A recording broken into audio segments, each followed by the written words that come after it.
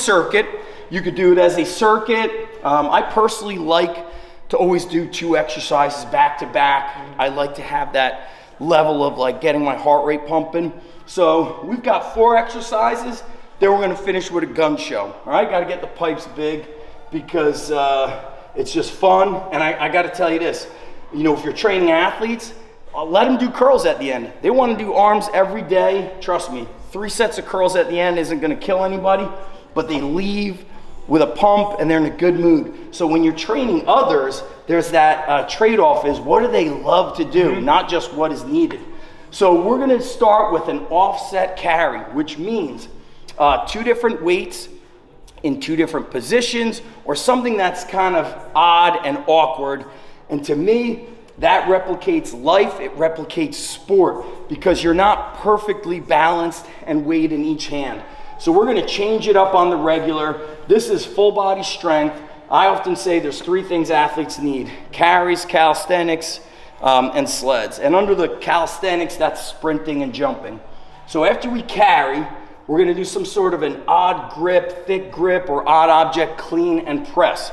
So it's a full body lift, but you're doing a pushing motion, okay? We're gonna couple that with a row. That's gotta be thick grip or grip, grip centered. And then we're gonna throw something, okay? We're gonna throw heavy med balls from various directions. We're gonna throw lighter medicine balls for power. This is tremendous for having that transfer of training, but you'll notice when we train, we're gonna mix up the implements so the body is not good at only heavy, good at only light. We want it to kind of build what I call agile, mobile, and hostile. All right? So I want to be strong in many different positions. And uh, what this does from an athletic standpoint is it prepares the body for the oh shit factor. Like, oh, I've never done that before. You want to more be like, oh, my body's been there before. I feel strong in these things. Basically, you want to be capable. This right here would be great for an athlete, military, law enforcement who has to you know, chase people, hop over fences, then you're grabbing and wrestling with people.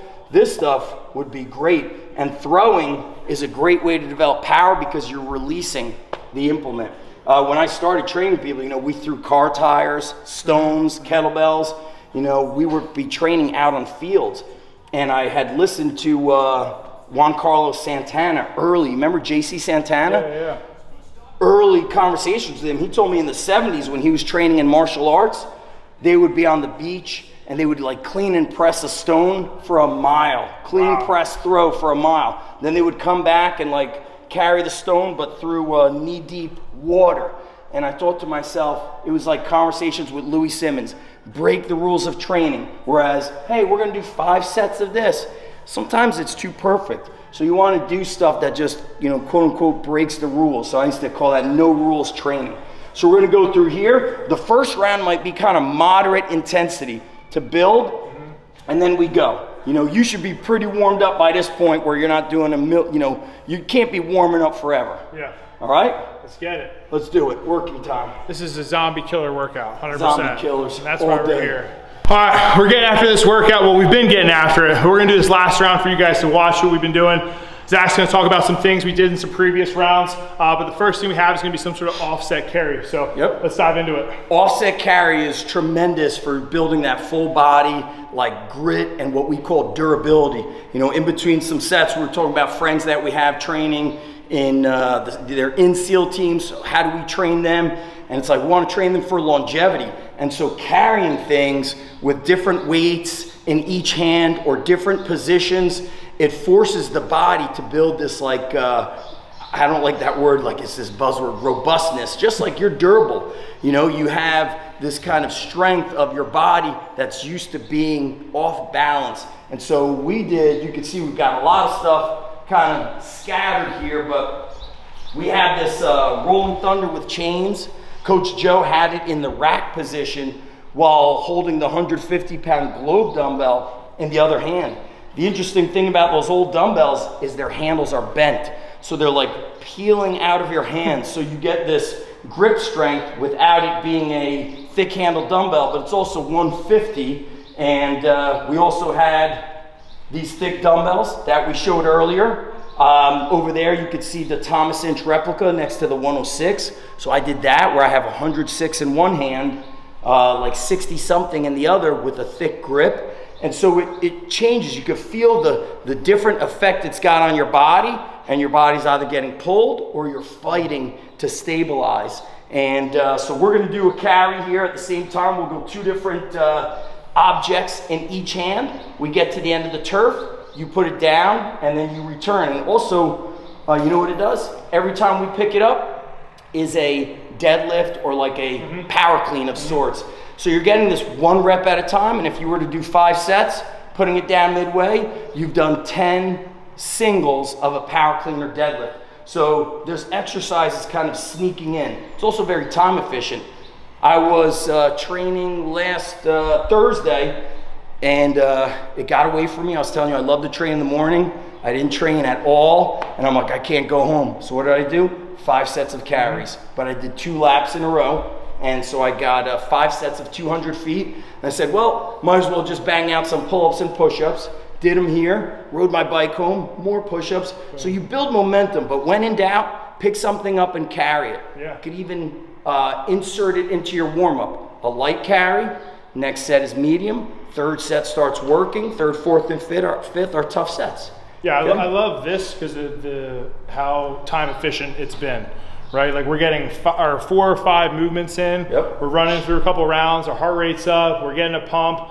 And it's like for, for most of the people that are probably watching this, you guys have those time constraints.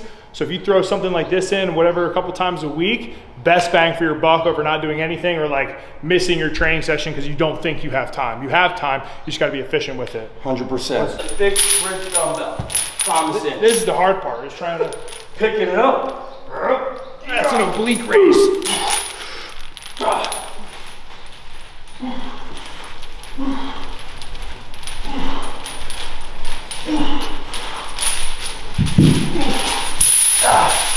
It's like an awkward deadlift here. You got the awkward clean.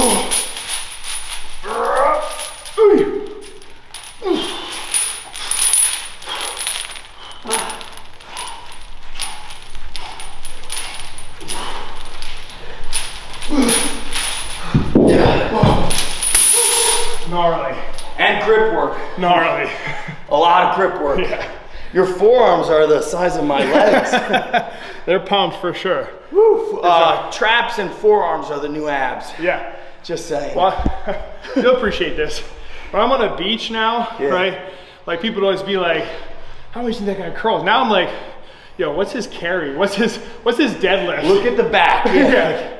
If the back looks gnarly, and my buddy John Welbourn said that, played the NFL 10 years, he goes, if the guy I was lining up against was big chest, big arms, but like flat backside, easy paycheck. Yeah. He's like, but if he had kind of like knock knees, big hips, big back, it's like I'm gonna earn my paycheck that game. It's so true. He's like that farm boy strength. So true. He calls it field strong.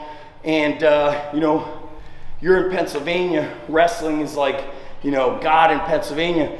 Years and years ago, I remember asking somebody, how come when it's the Pennsylvania, New Jersey, like championship wrestling match, it was called New Jersey versus Pennsylvania, 90% of the time, 80% of the time, Pennsylvania would win.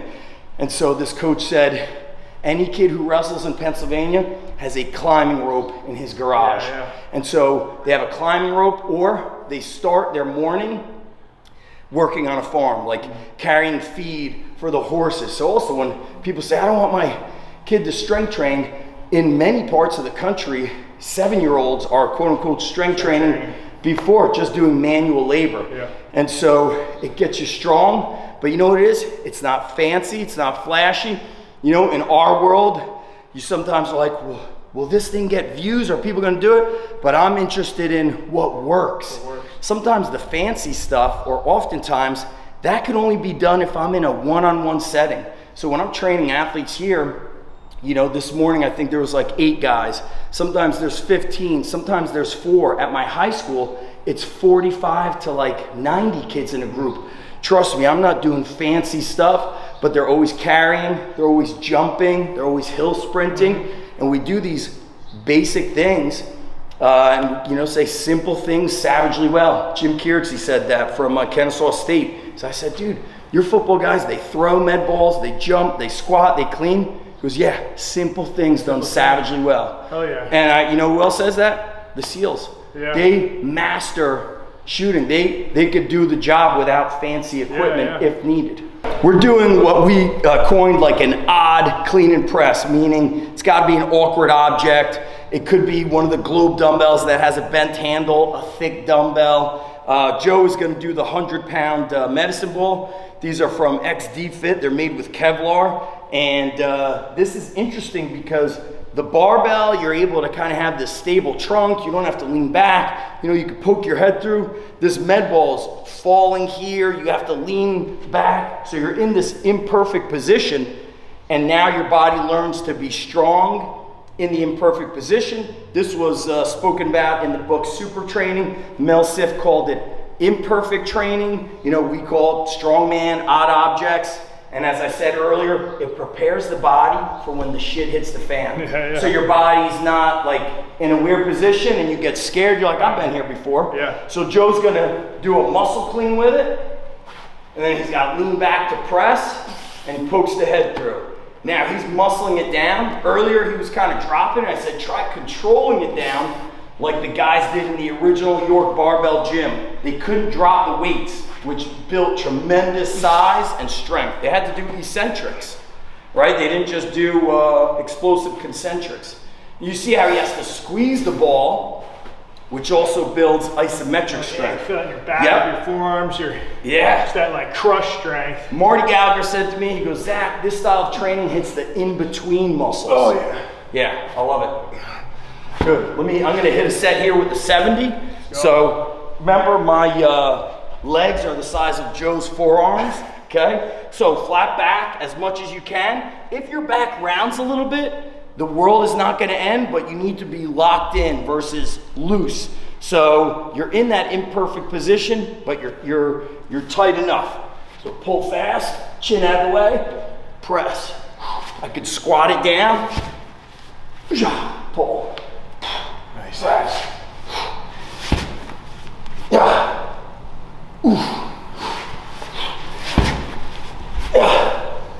You go.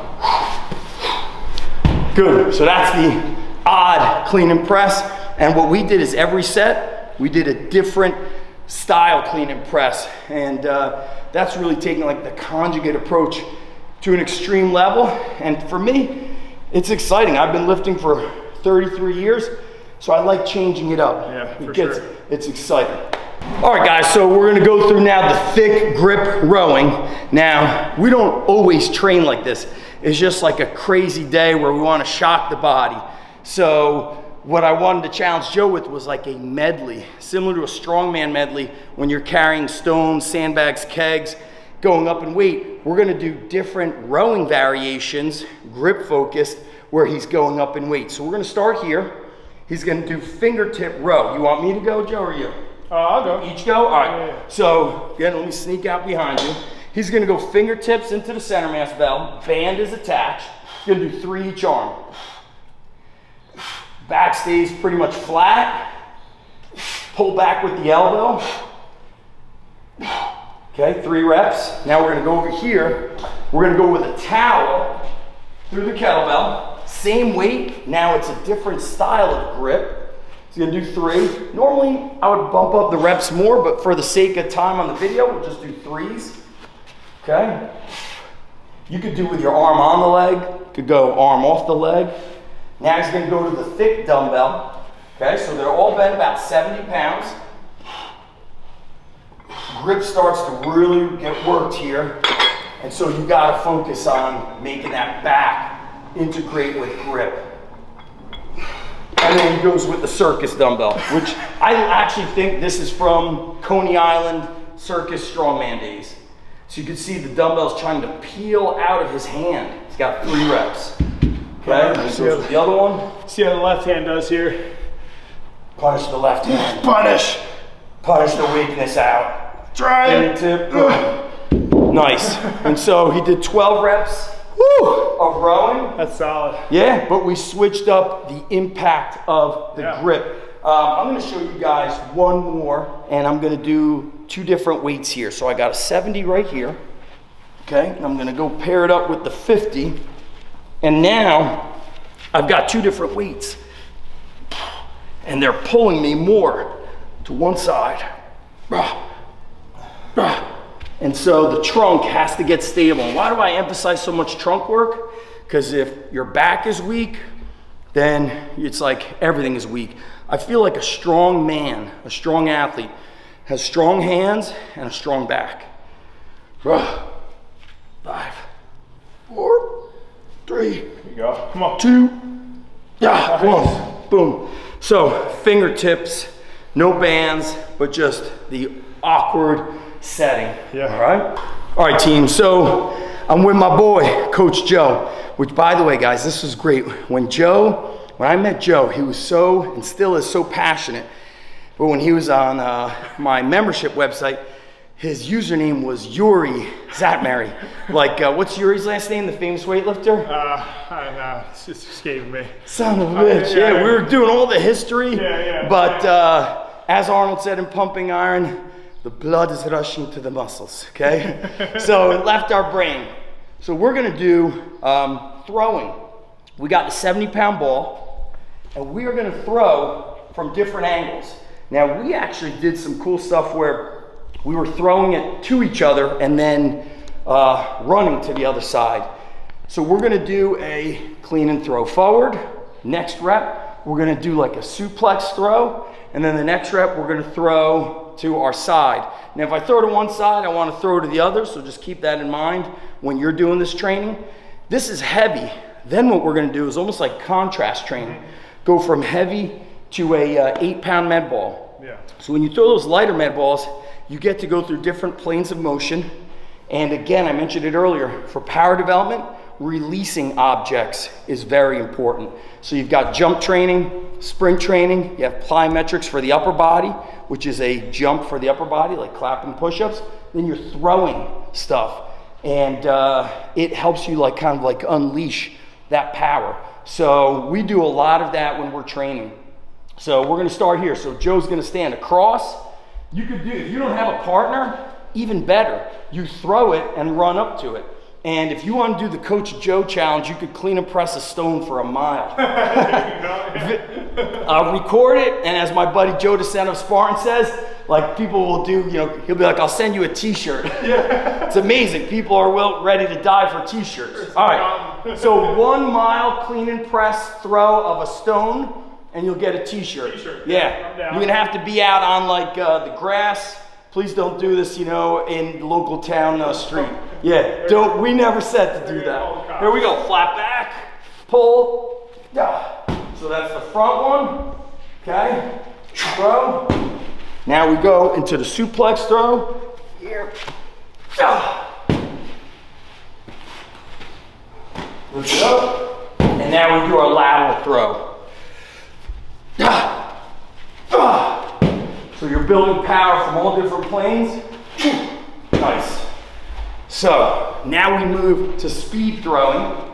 Okay? Find yourself a brick wall. Before I owned a gym, we would go to uh, old playgrounds that had like walls for like racquetball. tennis, whatever, yeah. Yep. Uh, schools in the summertime when they're shut down, we'd use the wall. And I remember early days training kids at the school, and I saw like an undercover cop car, and I was like, you know, reading about how it's illegal to run your business, you know, out of your home. And I was like, oh my God, are they gonna arrest me? Are they here to arrest me while I'm training athletes? We were doing sleds, sprinting hills, pushing the truck. And I was like, I'll do it. I'll go to prison for training kids to be strong. Okay, so we're gonna do a uh, med ball complex. Lateral throw, five each. Overhead throw for five. The lateral throw is rotational hip power. Overhead throw is trunk stability and dynamic like core strength. I hate that word core, but it's like dynamic power through the trunk. And then we're gonna do chest pass, five rapid. So it's reactive strength and power. And because we're doing 20 reps, what does that become? I like to go simple and not try to like people like to say the force the force vector of the kilograms. No, we're building power endurance. Why? Because you're doing extended uh, work of power. So when you're training, guys, you want to build muscle, time under tension, high reps. You want to get strong, heavier weight, low and moderate reps. You want to build power, move the weights very fast, move the objects fast, sprint, throw, jump. Okay, here we go. Five each side. And I'm gonna start on my non-dominant side. When I train athletes, I actually make them do more reps. So if you're a baseball player and you're a righty, I go, do like eight to 10 to your non-dominant side. I'll just do five everything. Here we go.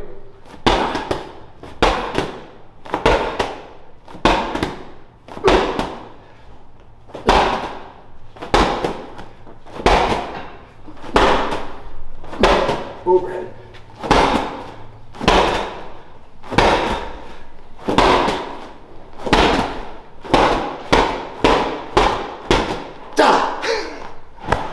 I hope the people jumped out of their seat. Breaks the camera.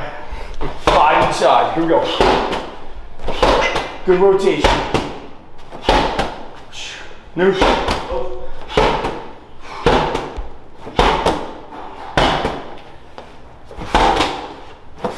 Could do feet this way, or you could step and throw.